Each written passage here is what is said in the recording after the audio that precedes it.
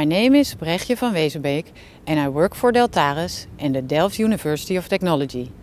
I have a background in ecology with a PhD on salt marshes and I work mostly on building with nature projects with a focus on knowledge development. I will introduce you to some eco ecological principles that will help you in your building with nature designs and in your understanding of natural processes and ecosystem functioning. In nature, things are not always what they appear to be. You think this is a pond, but possibly this used to be a stream. You think this is a salt marsh, but it may also be just another phase of an intertidal flat. Organisms that have the capacity to substantially change their surroundings are called ecosystem engineers in ecology. In a paper in 1994, Jones and others described ecosystem engineers as species that modify their surroundings. For example, a beaver is able to change a flowing river into a stagnant pond, cre thereby creating a whole new ecosystem. An intertidal flat can become a salt marsh once it is high enough to be colonized by marsh grasses, such as English cordgrass.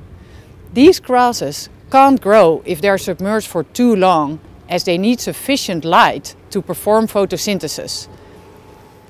However, once an intertidal flat becomes high enough and submerges time low enough, which generally is around mean high tide, these grasses can establish. Once they have established, they still get submerged twice a day. When they do, they reduce current velocities and so enhance precipitation of sediment. This increases their elevation, which means that their submergence time is reduced and they have more time for photosynthesis. This is beneficial for them and enhances their growth. More biomass will also increase their trapping capacity. These positive effects that enhance each other we call a positive feedback. The positive feedback between cordgrass and sedimentation sets off salt marsh formation. A salt marsh grows to fill the accommodation space and so its height depends on the tidal amplitude. In the Western Scheldt, salt marshes in front of the levee can become almost 4 meters above mean sea level, a lot higher than the polders that are behind the levee. Now you have already learned some important ecological concepts such as ecosystem engineers and positive feedbacks. In this video, I will teach you some more. Your knowledge of these generic ecological concepts will help you in making better building with nature designs. But always get an ecologist with local expertise to help you.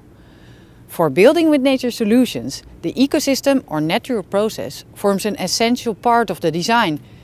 Ecosystem refers to the community of living organisms and environmental characteristics that interact with each other through nutrient cycles and energy flows. Examples of ecosystems are salt marshes and intertidal flats, which I mentioned before, but also coral reefs, for example. Building with nature solutions can include a naturally present ecosystem and then aim to conserve and manage that ecosystem for its function.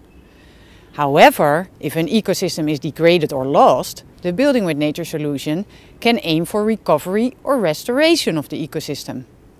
Basically, ecosystem restoration focus on restoring abiotic conditions in such a way that ecosystems can re-establish naturally or will be aided in their recovery. What do I mean by conservation and restoration in the context of building with nature? For instance, in Indonesia, mangrove forests are removed for fish and shrimp farming. This makes coastal communities vulnerable to flooding. By conserving a stretch of mangrove forest and by putting a small earthen levee behind it, people are safer and the mangrove is conserved as a component of a mangrove levee coastal defense strategy. Restoration comes into play when the mangrove has already been destroyed. Then you need to rebuild it to implement the mangrove levee combined defense strategy.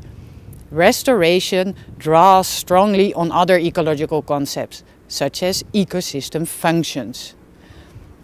The most important aspect of an ecosystem in a building with nature design is the functions it has to offer. Ecosystem functions that are beneficial to humans we call ecosystem services. A service is what humans value, but here we will talk about ecosystem functioning and its intrinsic value. We as humans are with many, but we constitute only a small part of the vertebrates. The vertebrates, in turn, only constitute 2% of all animal species on the world. For good ecosystem functioning, we need many of these organisms. We need the plants as the primary producers, and we need the species that eat the primary pro producers, herbivores. We need the big predators to control the size of the herbivore populations. But we also need the community of bacteria and little worms in the soil that prepare the environment for the plants. This structure of different species that feed on each other is called a food web.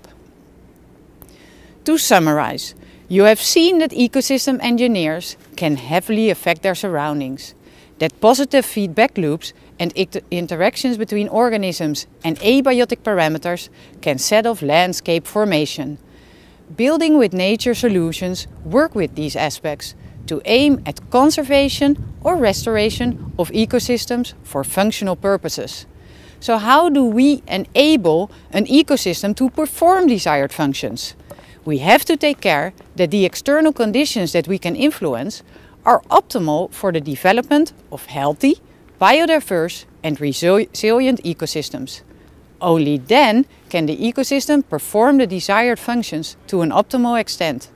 I will tell you all about this in the next video.